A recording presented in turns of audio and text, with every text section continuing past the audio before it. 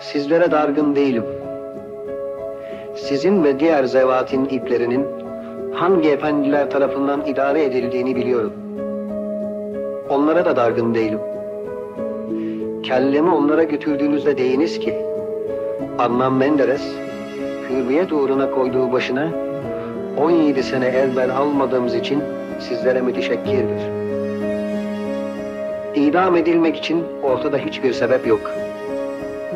Ölüme karari metanetle gittiğini, silahların gölgesinde yaşayan kahraman efendilerinizce acaba söyleyebilecek misiniz?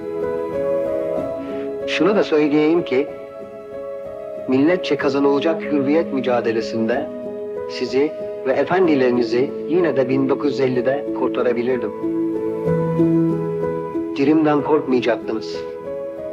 Ama şimdi milletle el ele vererek Adnan Menderes'in ölümü sizi ebediyete kadar takip edecek ve bir gün sizi silip süpürecektir. Ama buna rağmen merhametim sizlerle beraberdir.